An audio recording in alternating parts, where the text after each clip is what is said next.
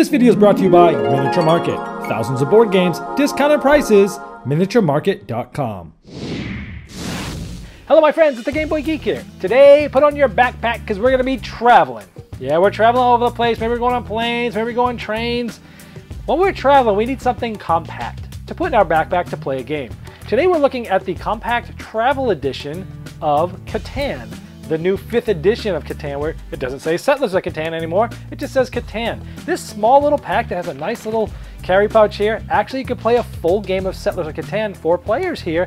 It also has two player rules as well. Uh, let me show you what comes in this, how does it all fit here, how does it put together, and how does it work. Let me show you, and I'll see you on the other side.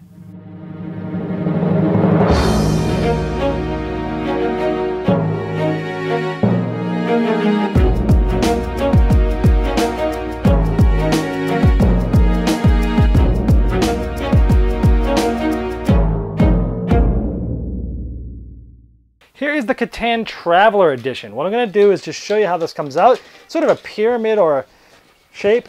This just comes out like this. And actually some of the boards are hidden in there, but it all does fit quite nicely. Now, what happens is this itself folds up like that, and so now we have the board. Now in the rulebook, there is a way to set this up for a basic game, sort of a beginner's game, and it uses the tiles and they're labeled in a specific way. So essentially we'd put A1 here, we've got A2 there, we've got A3 here, we've got A4 there, we've got A5 here, and we've got A6 here. Now, these themselves have double-sided and with different things on them. So for example, this looks like this.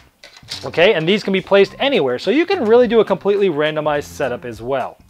I want to show you how some of these uh, holds hold the item. So this just slides up. And this is sort of all the pieces I'd say just for the blue team. And this person has, let's say you could put a settlement, which is like that, or you could upgrade it to a city, which Essentially, it looks the same, but it has sort of a tip on the top of it there. So those just have a tip, and that one's like that. You could also build roads, and they all just sort of stay in like that. And so that's how the blue person can build, and that's how that's stored there. Now this one is stored, it has both pieces, but it also has this thing that slides right out. And here we have all the cards for the game. So here's your, here's your wool and wood and uh, brick there. And it has all different ways. This holds all the cards, pretty much most of them in the game here, uh, but they do fit right back in, just right in there. All right, here, pull this out, we have another player. We have the robber, which will go on the board. And then this is the cool dice. How do you roll dice without flying anywhere? You just go like that, and it rolls the dice. Pretty cool there. And the last little open up here, we have another player, and then another thing of cards that has sort of more of the resource cards and the development cards. And again, this actually comes right out that you can put up on the table and it keeps it from the cards falling around. Very good travel edition here. Well, there it is, a cool little product. Now, I recently reviewed Catan itself um, and kind of whatever my thoughts about that. Now, this obviously you need to have known how to play that game to make this overview any useful because I was just kind of showing you how it works, how does it pack, how does it set up, and things like that. And I think if you're a fan of Catan, which I'm not really, uh, I'm a fan of, of it in general and what it has done for the hobby, what it continues to do for the hobby, but as the gameplay itself, I'm not a super big fan of it, but I can definitely see why people might like it.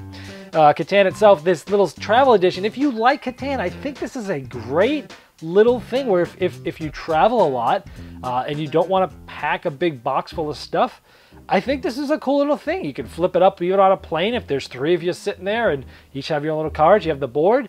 Um, if you're traveling, you just have one, put this small thing in your suitcase and play at a little cafe somewhere while you're traveling. I think it's a good idea. I think it has a market. Obviously, Catan has a gigantic market for people that want the smaller version to be able to just carry it around and open it up. That's excellent. Two player rules, eh, you roll twice for production, you get both productions. You gotta, you know, if you do something, you gotta do something to a, a, a computer type player, a non-playing character. I'm not a big fan of games that are not designed for two players, that when you try to play with two players, they play with extra people. I'm just not a big fan of that. However, if you're a super huge Catan fan, maybe you want to try out and see if it works for you. For me, the four player game is where this game's at. Anyway, But overall, great little package. If you like it, this should be something that you might want to look into if you travel, because it is definitely a nice package, well made, well orchestrated, well engineered. I like how all the little bits and stuff fit there. Interesting to idea. So if you like Catan and you travel a lot, this thing might just be for you. This video was sponsored by Miniature Market's Review Corner. The Review Corner features podcasts, video, and written game reviews by gamers for gamers. Miniature Market, the online gaming superstore. Thousands of board games, discounted prices. Check them out at miniaturemarket.com.